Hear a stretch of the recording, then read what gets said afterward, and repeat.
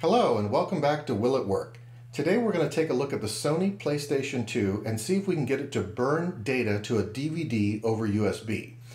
Now, I've made a couple of videos on other consoles that were able to do this, the Nintendo Wii U and the Sony PlayStation 3. And in that last video with the PS3, I mentioned that it does not work with the PlayStation 4 and does not work with any Xbox consoles. So I thought I'd sort of wrapped it up for now until the next generation of consoles comes out. But then I remembered something. The PS2 has USB ports. Now I never had one of these back in the day, but I assumed it was for special controllers like Rock Band or mice and keyboards for certain games. And for the most part, that's true, but I did a little research and I found out there was one game that allowed you to save data to a USB flash drive, and that's Gran Turismo 4.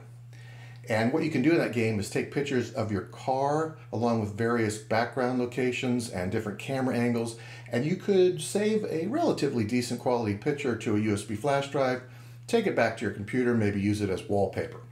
Well, once I found out about this, I knew I had to get a PS2 in and try to get it to work with a USB DVD burner.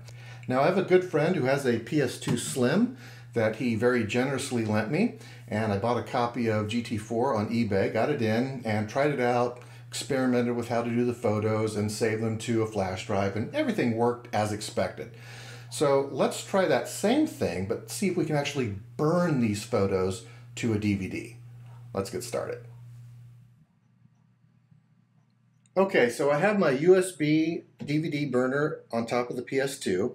It is bus powered, so I have it in a splitter here going into both USB ports in the front of the PS2. I need the current from both of these ports to power this up. Okay, so the first thing we're going to start with is just a good old-fashioned standard uh, DVD-R that everybody knows and loves.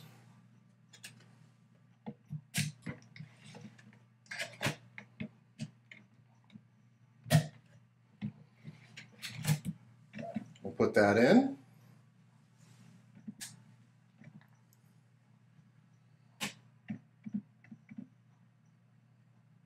And we'll go into the Photo Travel app, and I'm just going to do Beacon Hill. I'm not going to mess with any camera angles or anything. We'll just get right to trying to save this file. Go down here and take my picture.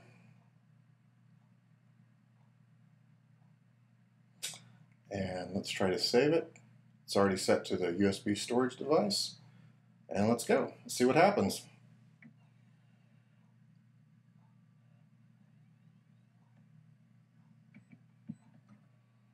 Yeah, error. No surprise there. But I always like to start with DVD-R before we move on to the next format.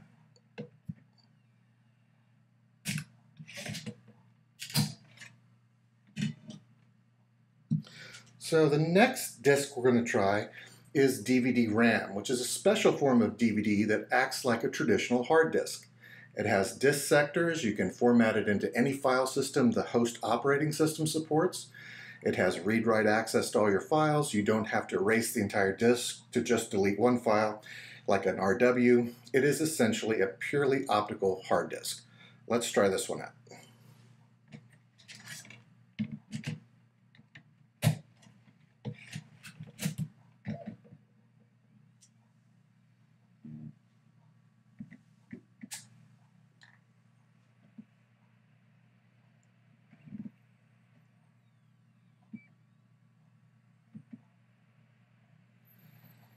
Okay, we'll try to save or burn, in this case, this photo.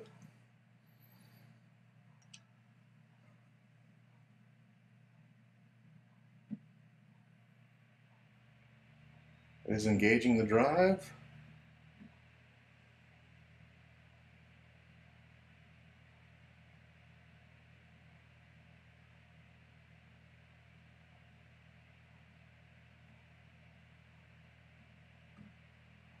Hey, it looks like it worked. Very cool. Let's do another one, and then we'll take the disk back to my computer and see what we have on it.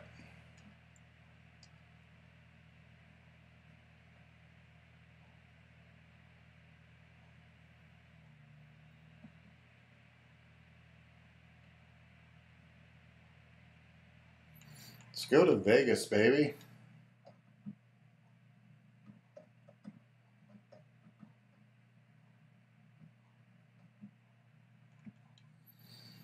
Take this picture.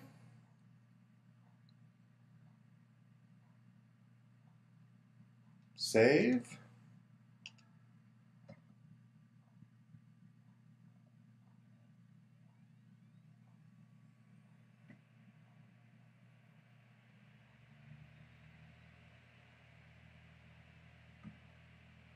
All right, let's go back to my computer and see what we have on the disk. Okay, so I have the DVD RAM disk mounted on my desktop. Let's open it up and see what we got. Looks like there's a GT4 folder with two pictures inside. Let's see what they look like.